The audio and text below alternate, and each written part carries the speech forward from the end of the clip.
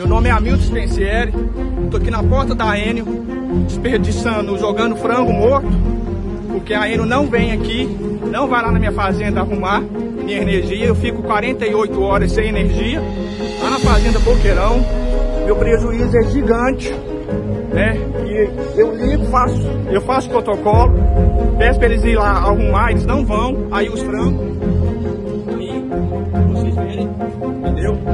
São vários protocolos, vários é, pedidos para a ir lá arrumar, ela não vai, não dá manutenção, não faz nada, não faz nada pra gente. E eu vim mostrar o meu prejuízo. Isso aqui são só cinco sacos. Da próxima vez eu vou trazer uma carreta. Porque esse aqui é da tudo bifar, aqui, ó. Estão vendo, né? Só de óleo diesel, de outubro até hoje, dia 12 de novembro, eu gastei mais de 1.500 litros de óleo diesel com o meu gerador, para não morrer, e continua morrendo.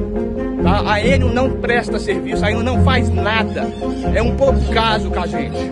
Tá? A próxima vez eu vou trazer um caminhão, um basculante para jogar aqui. Fazenda Boqueirão, Hamilton Spencer. Tá feito o vídeo aí, ó.